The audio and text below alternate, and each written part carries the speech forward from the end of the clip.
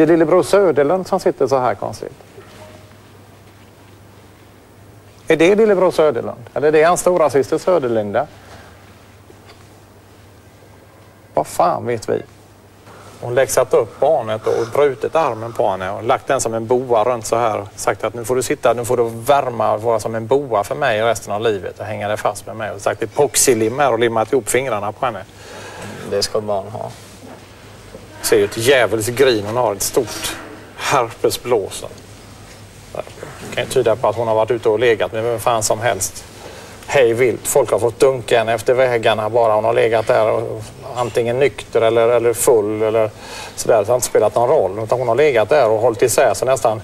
Ljumskarna har knakat som på kycklingar när man, håller, man tillagar dem. Hon har blivit bankad i många år. Och nu sitter hon här helt slut och pustar ut frukterna av sitt evinnerligt knullande runt i Europa. Jag vill skriva i Europa som Dan Hammarlund skrev. Det är just om den här målningen, flickan med sädet i sig, som den heter.